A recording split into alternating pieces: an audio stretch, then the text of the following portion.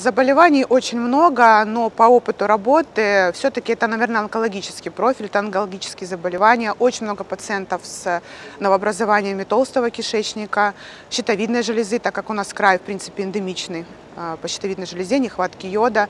Наверное, вот онкологический профиль пациентов больше. Прошлый год был тяжелый, так как все ковидные госпитали закрывались. А, был очень большой поток и текучка среди врачей, многие увольнялись, уходили в частные клиники. И, конечно, 2021 год э, знаменован больше перестройкой медицины. А, много молодых специалистов пришло в учреждения, много старых специалистов ушли в частные клиники. Но э, я считаю, что мы справились с этим, мы побороли это. У нас очень много сейчас новых сотрудников, которые внедряются в работу и хорошо выполняют свои обязанности медицинские.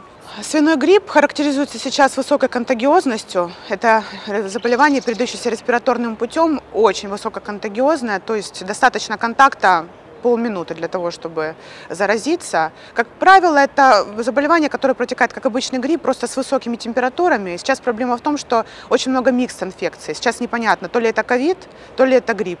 Э, но лечатся они примерно одинаково, поэтому э, если человек своевременно обратился в медицинское учреждение, все достаточно протекает быстро, температура спадает и все. Просто если пациенты ходят неделю и не обращаются, а потом уже обращаются с пневмониями, с осложнениями, тогда это уже сложнее все. Сила ковида, как раньше, она отступила. Он смешался с другими заболеваниями, с гриппом А, с гриппом Б, с свиным гриппом. Он уже протекает не так тяжело. Как правило, тяжело переносят эти заболевания люди с сопутствующими заболеваниями. Сердечно-сосудистой системы, с онкологическими заболеваниями, с людьми, с, э, пациенты с оперированными легкими, когда резицировано легкое было, тогда, естественно, это будет тяжелее. А так, конечно, тяжесть течения сейчас уже намного легче.